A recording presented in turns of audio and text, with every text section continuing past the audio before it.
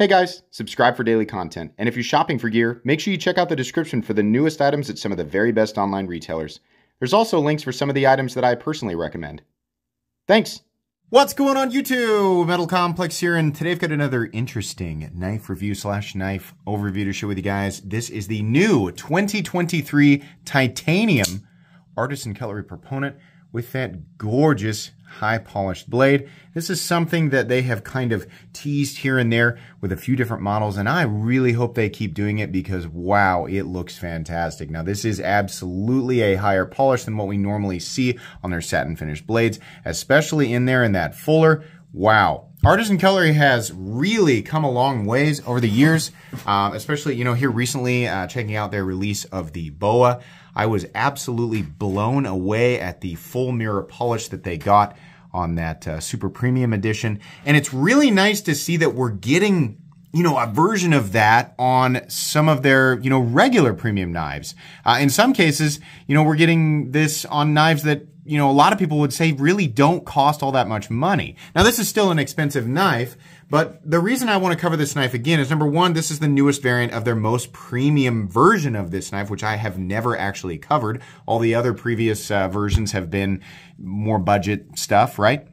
Um, but uh, I, I, really um, wanted to showcase this because I think it's for people who like the really chunky aesthetic, and you know, it's. I think it's obvious that you don't really gain any sort of major utilitarian advantage with larger, wider, thicker materials, right? And a larger, wider, thicker blade.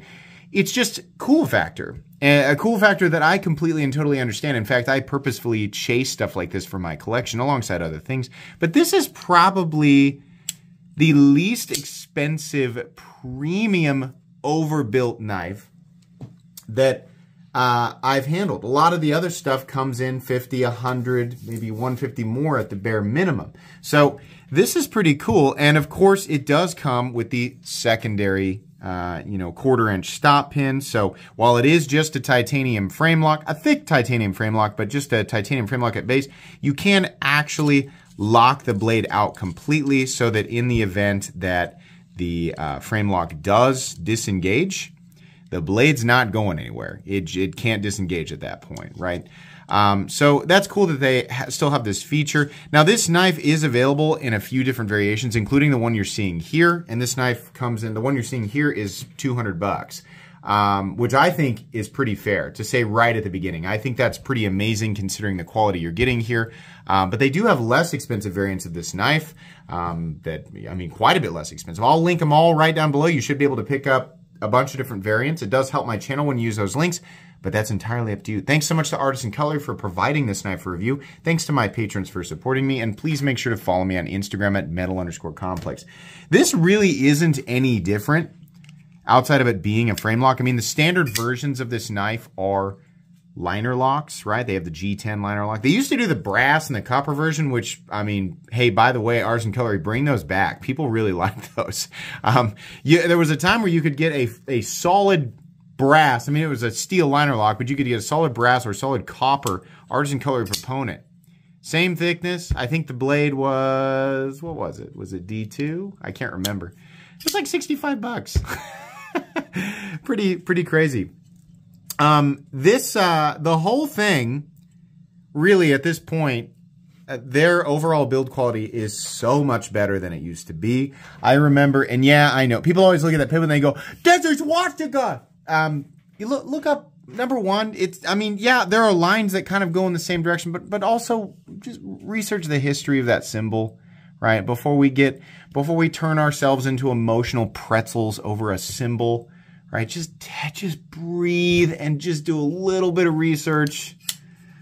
Discover the, the actual origin of it, right? And then ask yourself, is artisan cutlery using the pivot of a knife as propaganda?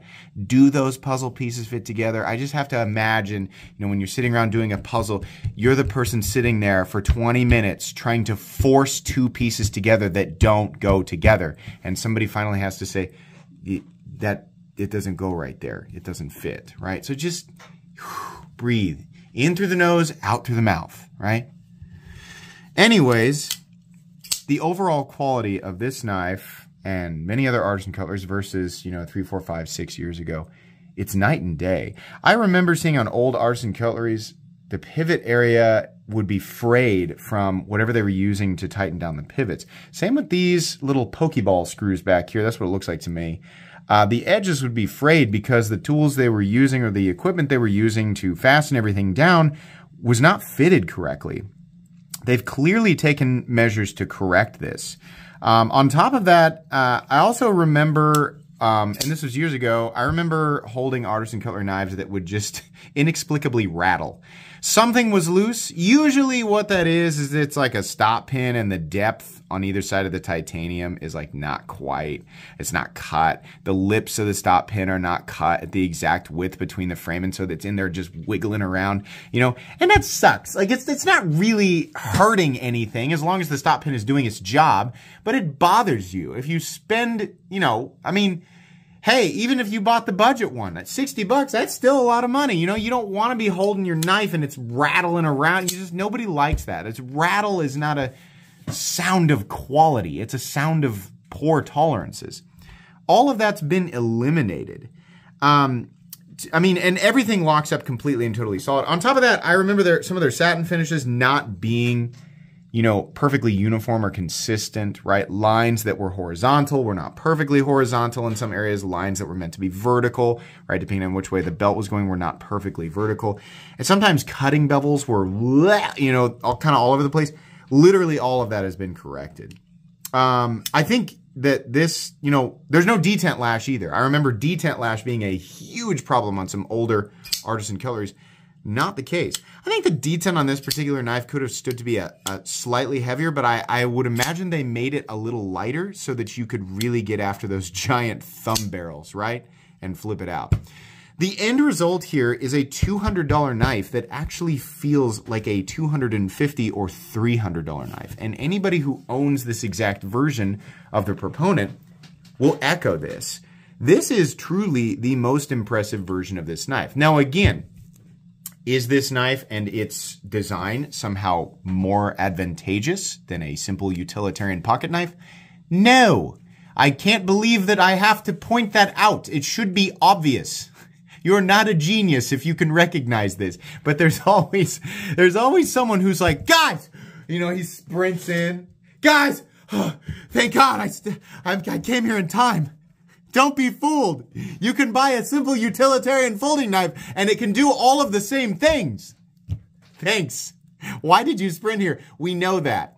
Believe it or not, people who buy this stuff, for the most part, understand this. You generally graduate into the weird after experiencing the utilitarian setting. Artisan Cutlery does a good job with this. They can obviously make a premium utilitarian folder when they want to, and they can also make something that's premium and also intentionally ridiculous and intentionally cumbersome, intentionally inconvenient, ironically inconvenient, just to tickle the fancies of uh, people like us, right? Um, I'm happy that this exists. I think it's great, but, you know, I think I think that this this realization is um, you know speeding up this realization for some people is is beneficial, right? The the quicker that you understand that this is you know intentionally done, the easier it is. The easier the rest of the knife world is because believe me, much like an onion, the knife world has many, many layers. And if this is hard for some people to comprehend or it makes them frustrated where they look at it as a teaching moment for an imaginary audience, buckle up, friends. Uh, because the knife world gets substantially crazier than this, and it has been for a very, very long time. Um, the weight on this titanium one to move into, we kind, we're kind of doing a, a different thing uh, this time around because I've already reviewed this knife. I just haven't actually reviewed the titanium version, right? So I wanted to do a couple of talking points there in the beginning. The weight of this titanium version is substantial. Uh, 10.62 ounces, right? Obviously. Um, no milling on the inside, as it should be, right? It's already ridiculous. Why not go ahead and just not mill it out? Who cares? The overall length of the proponent is, I think this is almost nine inches. See, it's like 8.75 maybe. Yeah, 8.75 blade length. At the base of the frame, it's 4 inches. At the middle of the frame, it's about 3.85. The cutting edge is just shy of three and a half inches. How about some size comparisons? Any custom scales you can find down in the description under Original Goat or Flytanium in the case of the 80, I'm sorry, Original Goat is the 8010, uh, but Flytanium would be like the, um, what do I have here? The Benchmade Bug Out. Yeah, lots of cool custom scales. How about these two? This makes a lot of sense. So it's really very similar in overall size to the 8010. It's just a little bit bigger. It's obviously Titanic compared to the um, Benchmade Bug Out or the Hogue Deka. How about something like the Spyderco Para 3? How about something like, what do we got here? The Spyderco PM2, obviously bigger than these. And then finally, the Benchmade Griptilian, or in this case, the Ritter Hogan. What have we have not done yet? The Demko AD 20.5.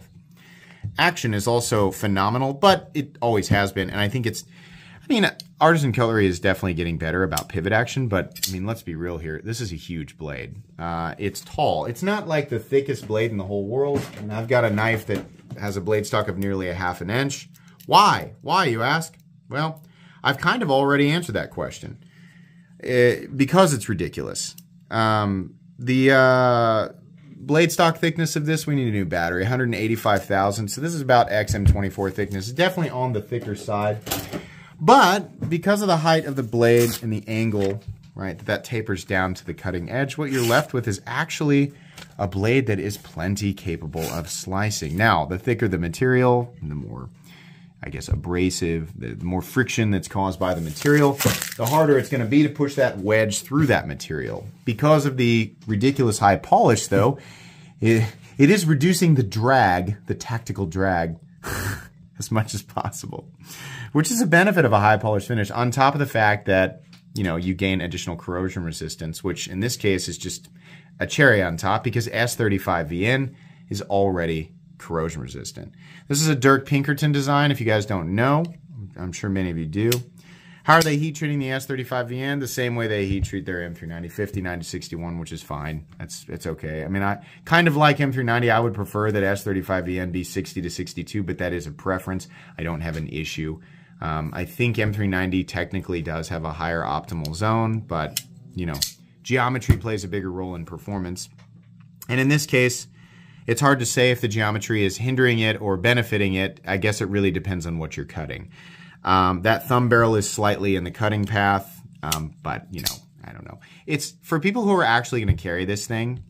It's a lot. It's a lot of knife to dedicate to, and unless you have been used to, you know, carrying around, um, you know, big clunky cold steel knives, which I'm sure plenty of people in here are. Anytime you do a thumbnail, you know, of a big knife or anything dares challenge the legacy of a cold steel knife, which, you know, cold steel fanatics are apparently under the impression they are some sort of secret club that bears the wisdom of like, you know, 10,000 years of knife research no, you you can literally go anywhere on the internet and just buy a cold steel knife. It's not a secret club. They don't cost that much money. It's it's they're not it's not special. They're they have a really strong lock. They're available to everybody. You don't need to be a super secret ninja wizard level 9000 to to own one. You you can just go buy one. Like you can literally just go to Blade HQ and be like, "Hey Blade HQ, I have a money. Can I have a cold steel?" And Blade HQ will be like, "Yeah, sure, bro. Here you go.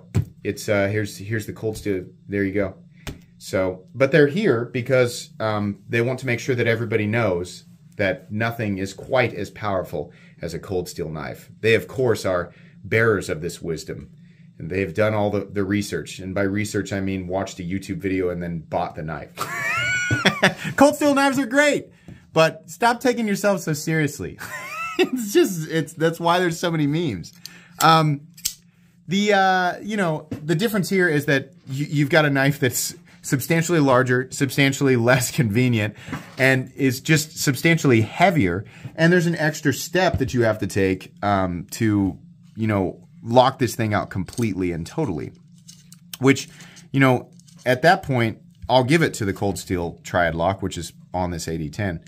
It, it's actually a little bit more convenient if you really, I mean, if you really are about to beat the crap out of a knife, it's actually a little bit easier to uh, engage and disengage something like this because there's really just one step, right? Now, Whether or not you'll actually need that much strength on a daily basis, hmm, should we should we look into that question?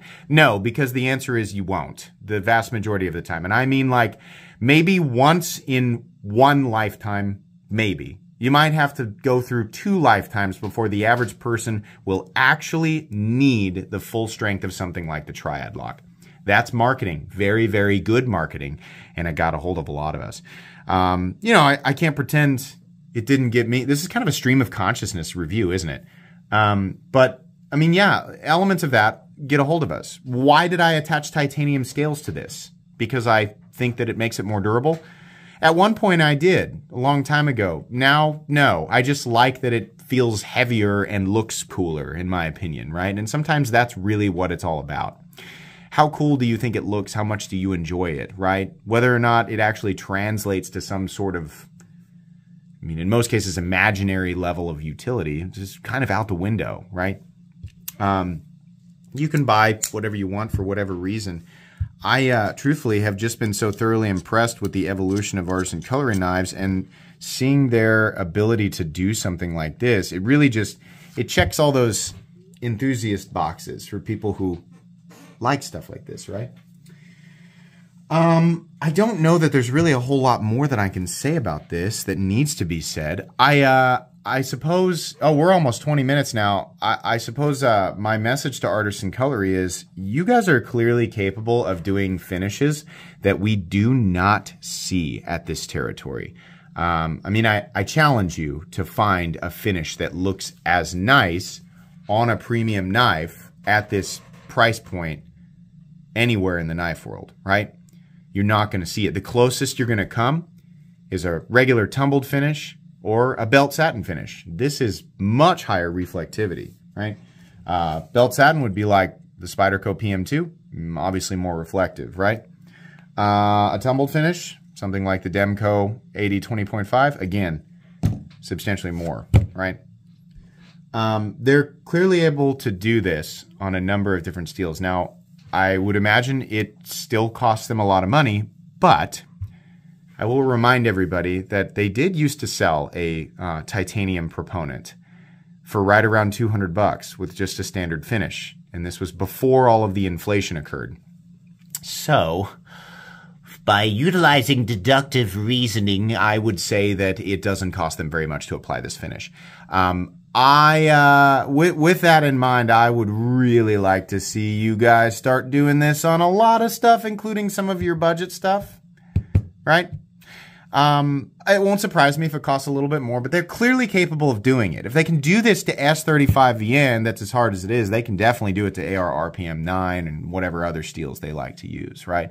I mean, they mirror polished S90V, so they can clearly do this. I would very much like to see this on a lot more stuff. I saw it on um, one of the Pyrite models while back, this one, and at least one other knife, and it just blows me away every single time. I'm a sucker for a good finish.